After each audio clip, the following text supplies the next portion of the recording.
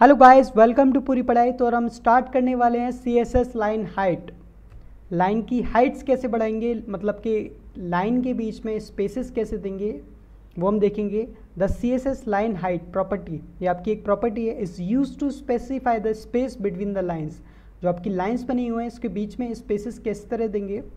इसके लिए हम लिखेंगे लाइन हाइट इसमें हम लिख सकते हैं three four five six seven eight ये लिख सकते हैं different different so as per requirement आप यूज़ कर सकते हैं। तो हम इससे प्रैक्टिकली यूज़ करके देखेंगे कि चीज़ें किस तरह से वर्क कर रही हैं। इसके लिए अपने नोट पैड पर जाएँगे। नोट पैड पर आपका, हमें पता है कि जो सी एस एस है, उसे हम स्टार्ट करते हैं स्टाइल टैग से। और हमसे एंड करते हैं स्टाइल टैग से। अगर हमें स्पेसिंग बनानी है, जैसे पैराग्राफ के बीच में इसे स्पेसिंग बनानी है। तो हम इसमें लिखेंगे पी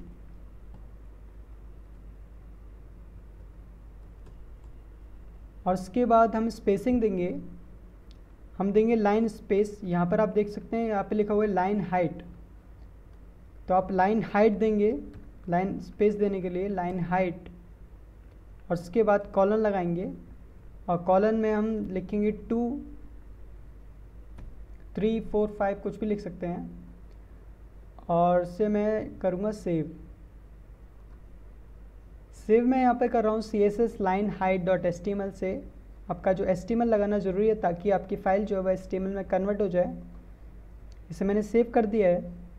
सेव करने के बाद C S S line height यहाँ पर आप देख सकते हैं C S S line height dot S T M L की एक फ़ाइल बन चुकी है।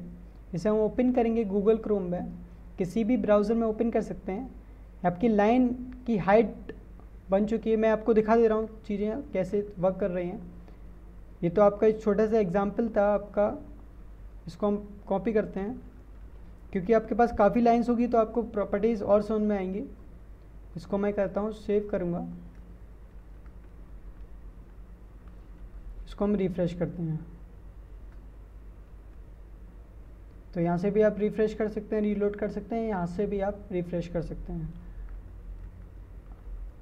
अभी मैं क्या करता हूँ, इस टू को चेंज करता हूँ, इसमें सेवन में कन्वर्ट कर देता हूँ। और अब हम देखेंगे लाइन हाइट किस तरह से इंक्रीज़ हो रही है। इसको मैंने सेव कर दिया है। सेव करने के बाद अपने ब्राउज़र पे जाऊँगा, इसको हम रीलोड करेंगे। जैसे मैं रीलोड करूँगा तो आप चेंजमेंट देख सकते हैं कि जो लाइन की हाइट है, ये जो लाइन है फ़र्स्ट लाइन और सेकेंड लाइन है, और ये थर्ड लाइन है। इनकी जो स्पेसिंग है, इन दोनों के बीच की स्पेसिंग है और कह सकते हैं लाइन की जो हाइट है वो चेंज हो चुकी है। तो इस तरह से आप लाइन हाइट को यूज़ कर सकते हैं चेंजमेंट करने के लिए अपनी लाइन के बीच में स्पेसिंग देने के लिए।